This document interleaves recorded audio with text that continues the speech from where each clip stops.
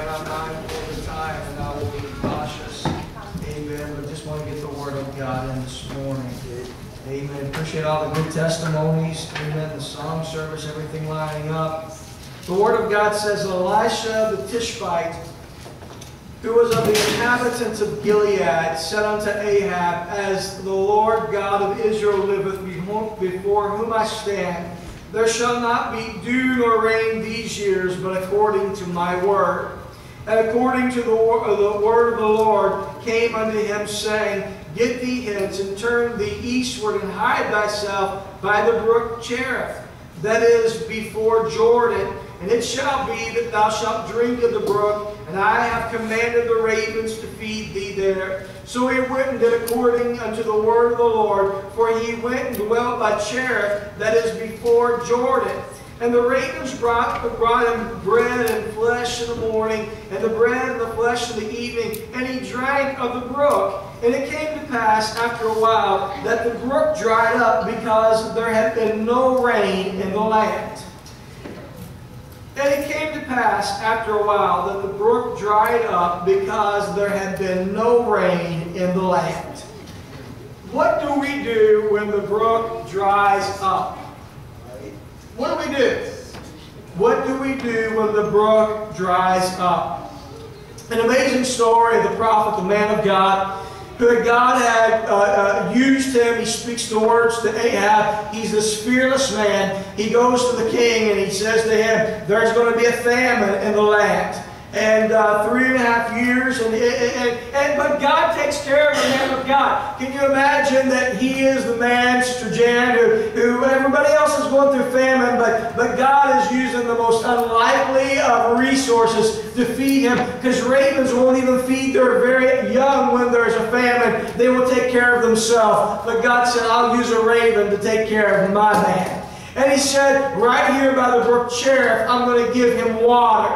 And uh, uh, uh, uh, just an amazing man, a tremendous spiritual force that this man has. And, and, and Cherith, amen, it's a time of separation. That's what the word Cherith means. It means separated. Have you ever been separated to God's plan? God calls you aside, He ministers to you, He just separates you. How many's ever had a Cherith in life? Amen. I have where God pulls you aside, amen, and shows that your life is, is, is different than everyone else's life. And He gives you that Cherith experience.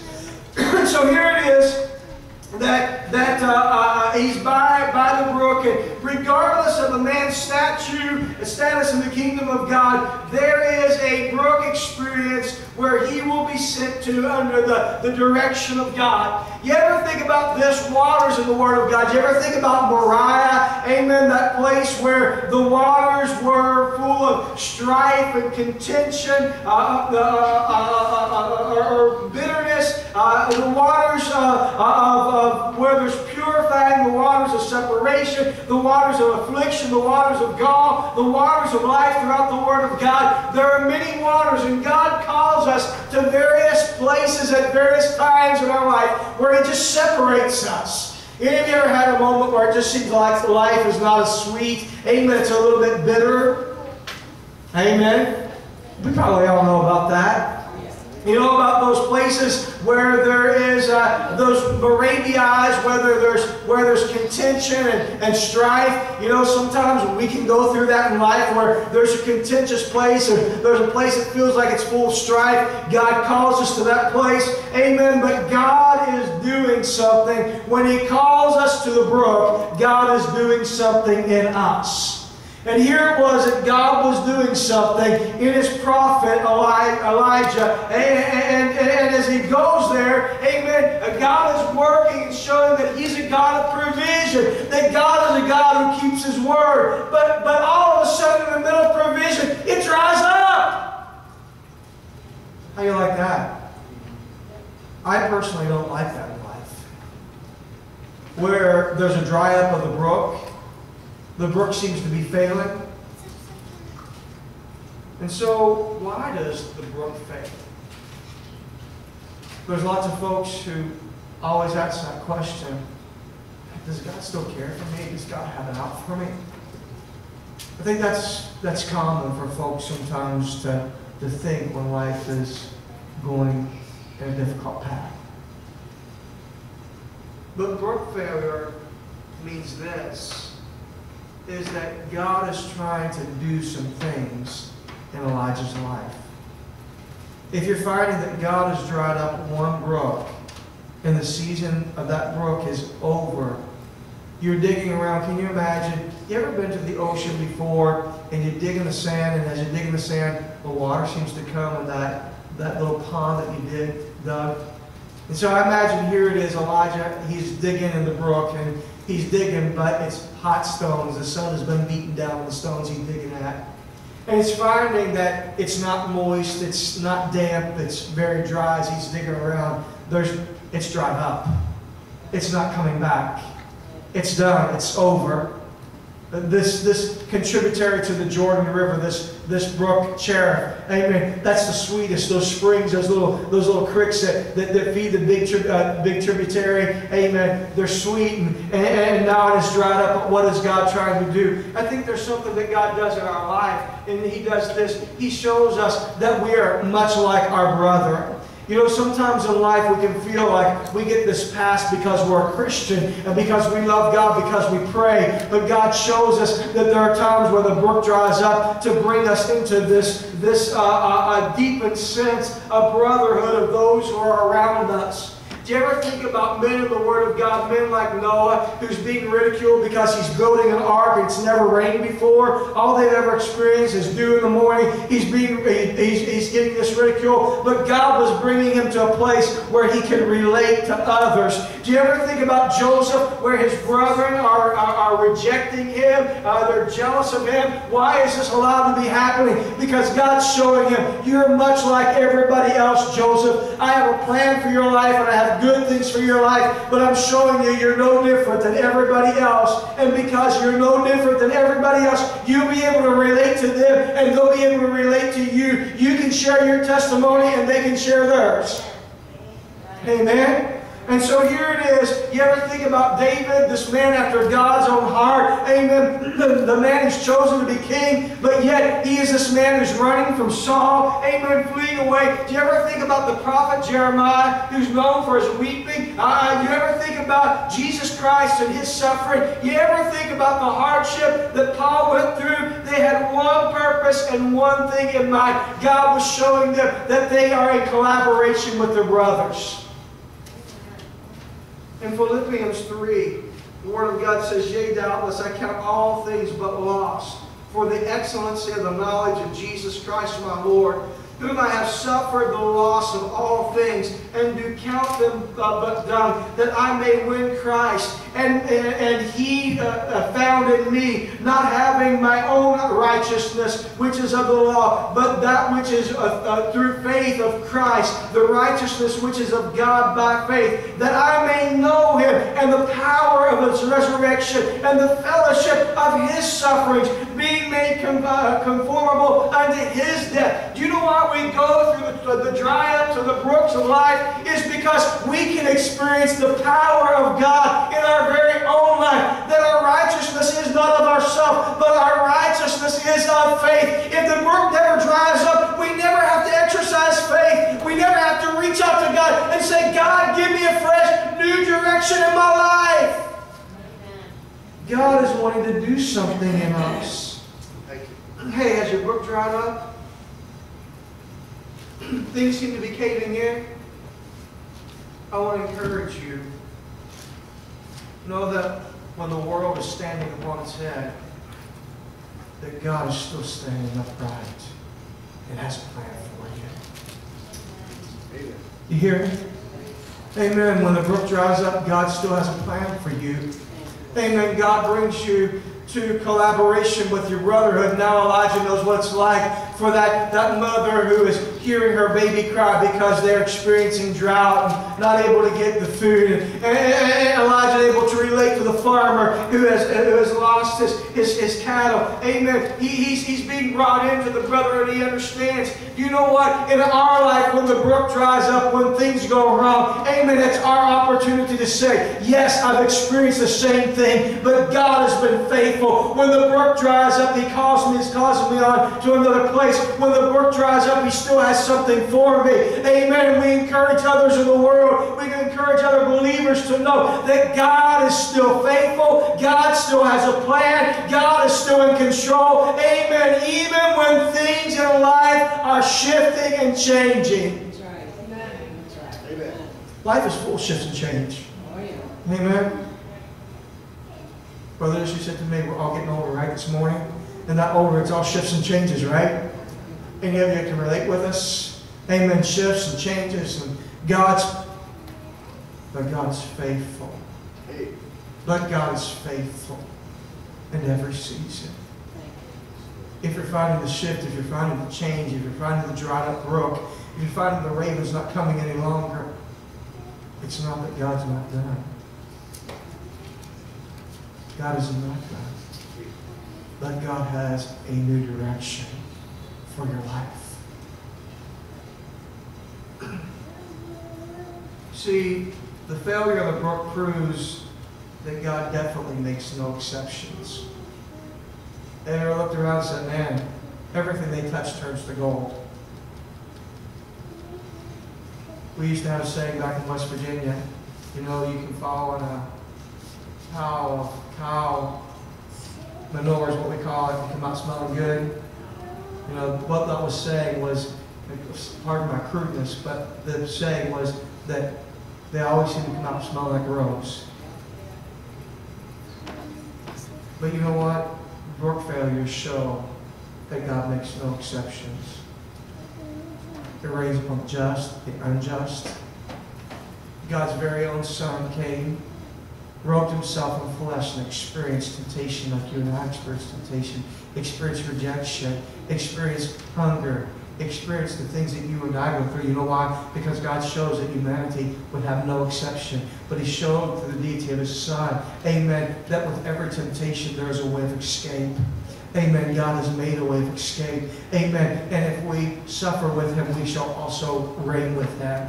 Amen. That the sufferings of this present time are not worthy to be compared with the glory which shall be revealed in us. That it's not of our own righteousness, but it's through faith in Jesus Christ. Amen. So when God begins to make the shift, amen, we find that God is about to do something in our life. When we look at Jesus Christ, Amen. Uh, you take away the compassion of him, he was just another man. You take away the Gethsemane, he was just another man. You take away the wilderness, he was just another man. You take away his tears, he was just another man. But you look and see. Isaiah said, For he shall brought before them a tender plant, as a root out of dry ground.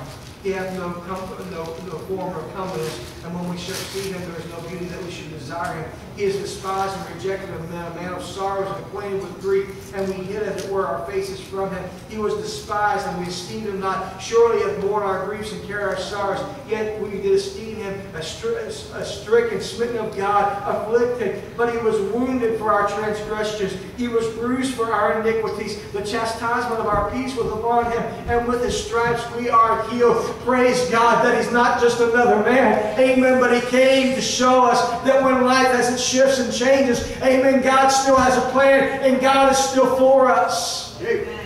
Amen. It hurts when the book dries up. But it's important to keep tending to the heart. Amen. Never underestimate the value of what a dried up brook is.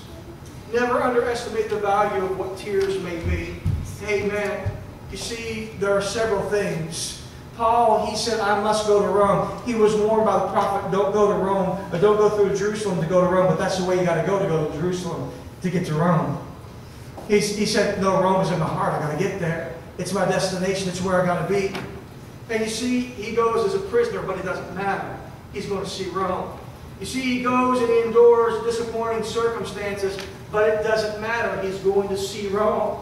He, he, he, he, he falls into great wickedness, but it doesn't matter. He's going to see Rome. He, he, he is hemmed in by the Roman soldiers, but it doesn't matter. He's going to see Rome. You see, he is hampered and hindered by chains on his hands and his feet, but it doesn't matter. He's going to see Rome. Health leaves his body. Amen. He experiences weakness, but Paul says it doesn't matter. He's going to see Rome. Amen. There's a chop block awaiting for you, Paul. It doesn't matter. I've got to see Rome. He's, uh, the only congregation that you're going to have is, is soldiers. It doesn't matter. I've got to see Rome. You see, there's going to be things in our life that are going to test and are going to try our faith. Amen. The brook is going to dry up, but in our mind, we've got to have made up. It doesn't matter what happens. I've got to make heaven my home. Amen. Through the good times, through the bad times, through the times where there's lots of water in the brook, and through the times where the brook is dried up, where there's times I know that there is provision, and where I don't know where the next provision is coming from. It doesn't matter. I've got to make heaven my home. Amen. Child of God, I want to encourage you this morning through the shifts and through the changes of life. Amen. When the brook dries up, it doesn't matter. We've got to make heaven our home. Amen. See, sometimes it brings us to the place where it shows us that we're just like everybody else. It brings us to a place where we realize that we experience the sufferings of Jesus Christ. Amen. If we want to, if we want to follow Christ, amen, we've got to realize that the sufferings of this present time aren't worthy to be compared with the glory that shall be revealed in us. But sometimes the brook dries up because it's time to cast a new vision. The old vision is gone. It's been lived. It's been good. We've enjoyed it. But God says now it's time for a new vision. See, God spoke to Elijah and told him to go to Zarephath. Now there would be a little widow lady there waiting on him. But Elijah didn't know what was ahead. Sometimes in life, and most times, we just walk by faith and not by sight. Our life needs to be marked by walking by faith. Do you trust God with everything that happens in our life? Sister Dot, you encouraged me on Tuesday night, even though it was a great loss of your brother. But your faith said, we go on because we know where he's at. It's not that we choose or want those changes in life. But we know by faith that God is going to take care of us. God is leading us. God is directing us. God is not going to bring us to harm. Even if we go through the fire, He's going to show up. Amen. If we go through the storm, He's going to be a shelter. Amen. God is going to be faithful. We've got to walk by faith. Amen. Sometimes folks may look and say, David, what is that? That's just a sling in your hand. No, that's a giant slayer in my hand. Amen. Faith says it's a giant slayer. Amen. Well, little, well, woman Rahab, uh, that's just a red robe, uh, a thread hanging out your window. Oh, no, that's not just a thread of red out my window. That is salvation. Faith says that's salvation. So in the middle of life, sometimes we just got to walk by faith and not by sight, knowing that God's going to take care of it. Amen. Samson, that's just a jawbone of a donkey in your hand. Oh, no, that's a weapon that I can war off many men with. And it was. Little boy, that's just some loaves and fishes. No, that's a buffet for a multitude. Amen. When God begins to shift and change our life, we've got to walk by faith Yes, that God is going to take care of us. Sister Holly, if you come to the piano this morning, I'm not sure exactly why God's laid this message upon my heart. But I just feel like saying to some folks in here, yes, God has allowed your book to dry up. It's been a good season with the ravens and with the cold fresh water. But when God dries up the brook, it doesn't mean that God is leaving you high and dry. God has a new direction. And maybe it's been painful, maybe it's been difficult, but it's a reminder that we're just like our brethren. We're not exempt from the trials and the difficulties of life. But what we can do in that is give a testimony that God is faithful. Our opportunity to show God is faithful. He dries up the brook to remind us that heaven's our goal. And no matter what we go through, we have to know that the end result is we gotta make it. Caleb, you said about needing to carry 70 pounds upon your back for how many miles? Forty. 40 miles. I can't imagine that. I can't. 70 pounds on your back for 40 miles. But I'm sure that you were thinking about mile number 40 when you were in mile number 1 through 39. And the closer you got to 40, even though it was tough, even though there were blisters, 40 still sounded good because that was the mark. Listen, and the shifts and the changes of life, and the drying up of the brook, and the disappointment, and the needing to go someplace else where maybe it's not so readily available as it once was. There's a God who's faithful. And you may say, Roosevelt, I don't see it all so clearly. That's the great thing about our relationship with Jesus Christ. We don't have to see it clearly because He does. He leads us by the hand and He's guiding us. And the next place is going to be just as sweet, if not sweeter, than the place that we've been because we've built a relationship that's deeper with God. We have grown our faith. You may say, Brother Saville, I have very little in my hands. Don't look at the little, but look at the magnitude of what it can do when God gets involved in it. David, it's a giant killer. Samson, it's a vessel it's a weapon that is used for war. Amen. Because God has got involved.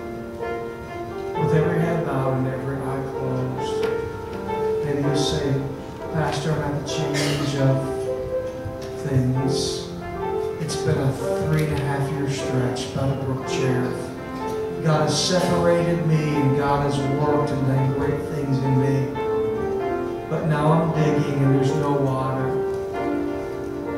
I'm at that place you're talking about. I want to encourage you, my brother, my sister. God has a Zarephath path ahead for you. God's already has people designed that has meal in their barrel for you. God has provisions for tomorrow. It's okay. Don't walk by sight, but walk by faith. Because God is going to see you through. He's faithful. If that's you, amen, would you gather in this morning? Amen. If that's not you, would you still gather in and say, God, when the change comes, I'm trusting you. Let's gather in this morning. Everybody